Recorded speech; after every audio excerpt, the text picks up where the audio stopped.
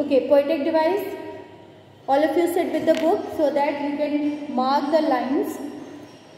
First of all, Amanda, Amanda. So it is coming repeatedly. So you can say the repetition. Stop that in this line S S S. Letter S S S is repeating. So you can say it alliteration. Then after did you in this uh, stanza did you did you it is coming. In the starting don't don't also. In the starting it is coming don't don't. So there also you can say there also you can say it is anaphora.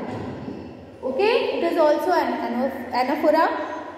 Then uh, languid, emerald, the silence is golden, freedom is sweet, it is metaphor.